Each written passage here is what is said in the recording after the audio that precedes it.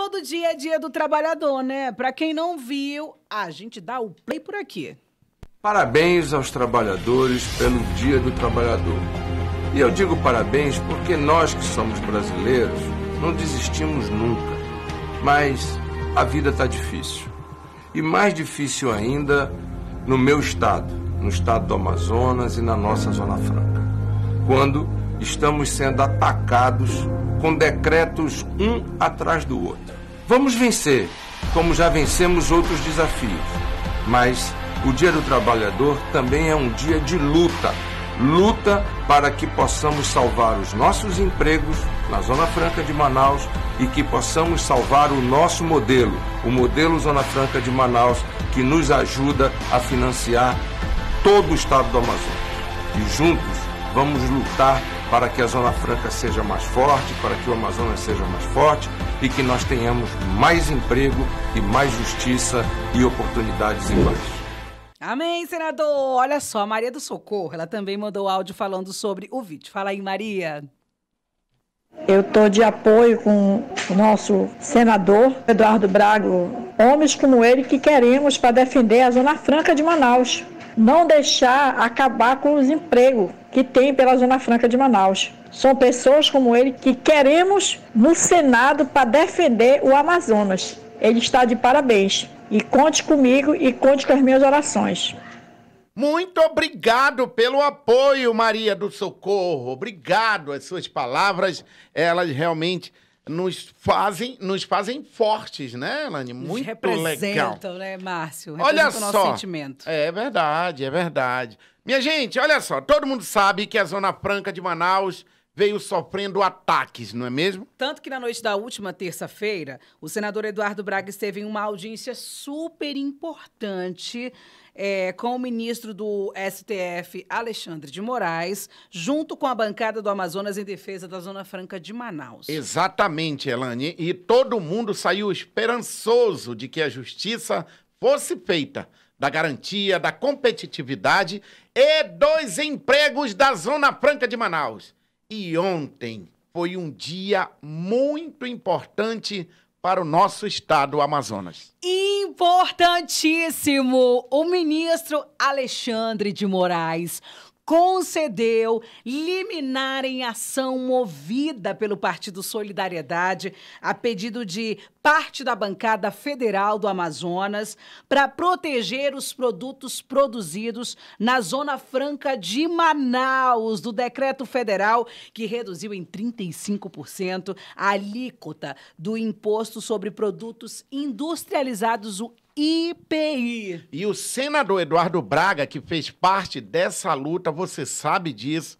A, a todos que acompanham ele nas redes sociais sabem a, o que ele vem causando, o que ele vem fazendo. Vai explicar melhor pra gente sobre essa vitória de todos nós amazonenses. Fala, Dudu!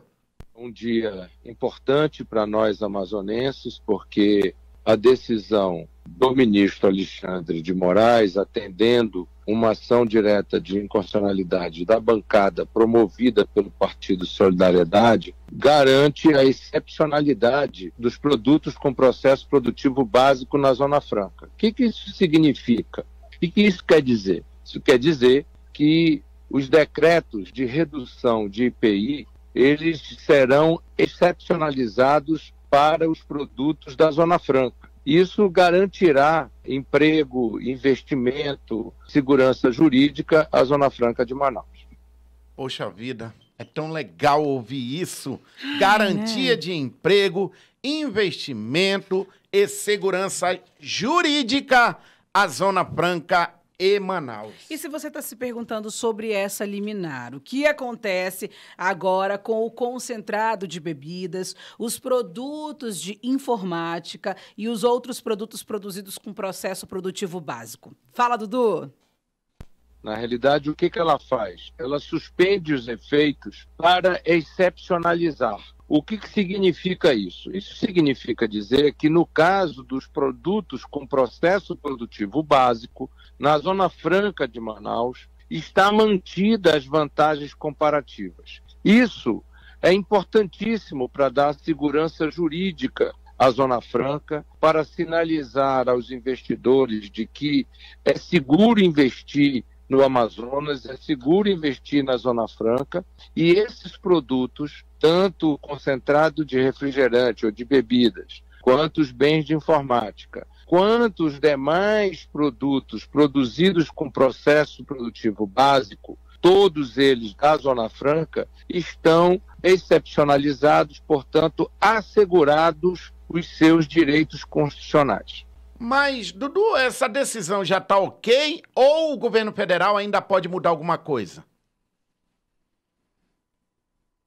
Na realidade, eles podem entrar com duas medidas ainda. Eles podem entrar com embargo de declarações ao próprio ministro Alexandre de Moraes, mas o ministro manifestou na sua decisão uh, cautelar uh, argumentações bastante claras o que não deixa dúvida para a medida de embargo, e eles poderiam entrar com um agravo que levaria essa decisão ao pleno do, do Supremo Tribunal. Portanto, uh, a vitória de hoje é uma vitória importante, mas precisamos continuar trabalhando, continuamos tendo que estar atentos junto aos demais ministros do Supremo, porque esta matéria poderá ir à votação no pleno do Supremo Tribunal Federal. Ouviram, né? Tivemos uma vitória e aí a gente segue atento. A gente continua atento, a gente segue trabalhando. Fazendo um resumão, foram momentos bem difíceis o que a gente viveu nesses últimos dias, né, gente? A Zona Franca estava ameaçada, são mais de 500 mil empregos gerados e isso é muito sério. Falando nisso, inclusive, a gente vai agora para Maués, que seria uma das cidades afetadas diretamente com essa mudança. A gente vai falar agora com o Edilson Negreiros, que é da Rádio Guaranópolis de Maués. Nós aqui estamos aproveitando esse momento para informar a toda a população de Maués, especialmente municípios adjacentes, houve uma liminar dado pelo ministro Alexandre em razão do, dos benefícios dos produtos da Zona Franca de Manaus e especialmente o nosso Guaraná, que está incluído no nosso produto básico da nossa economia básica de Maués, onde o senador Eduardo Braga teve uma participação muito ativa e os nossos parlamentares também. Então, o Amazonas está de parabéns, o Maués está de parabéns, o senador Eduardo Braga também está de parabéns em relação aos outros companheiros de luta que conseguiram esta grande conquista para o nosso Amazonas. É isso que tínhamos aqui a informar ao nosso público em geral. Olha só, minha gente, nós ouvimos o Edilson Negreiro direto de Maués, através da Rádio Guaranópolis, nossa parceira. E vale lembrar também que não só Manaus ia sofrer com isso, mas também, como Maués, a gente ouviu agora há pouco, Presidente Figueiredo, Parintins também ia sofrer, sabe por quê? Porque o boi poderia perder o patrocínio. Então, minha gente, pelo amor de Deus, vamos fazer essa reflexão. Vamos pedir ao Papai do Céu que a gente passe logo por isso, para que tudo seja resolvido, para que a gente possa continuar garantindo os empregos. Então, o senador Eduardo Braga, que é um, um, eu vou dizer, um cara, um amigo que leva muito a sério a importância do diálogo. Viu, minha gente? Agora, na última terça-feira, que fez essa reunião esclarecedora com o ministro Alexandre Moraes, isso prova mais uma vez que o senador Eduardo Braga, e, juntamente com a bancada do nosso Estado, tem força e, graças a Deus, está tudo indo bem. Né, Dudu? A presença de todos nós conversando com o ministro Alexandre de Moraes foi apenas para tirar dúvidas e esclarecer sobre o direito da Zona Franca em ser excepcionalizada. E deixar claro que nós não, não queremos a nulidade do decreto presidencial. O que nós queremos é salvaguardar os direitos dos trabalhadores, os direitos da Zona Franca de Manaus, excepcionalizando a Zona Franca desses decretos. É, foi importante as conversas, não só com o ministro Alexandre Moraes, mas também com outros ministros da Corte, com quem nós estivemos conversando e esclarecendo detalhamentos que são muito específicos da lei da Zona Franca de Manaus.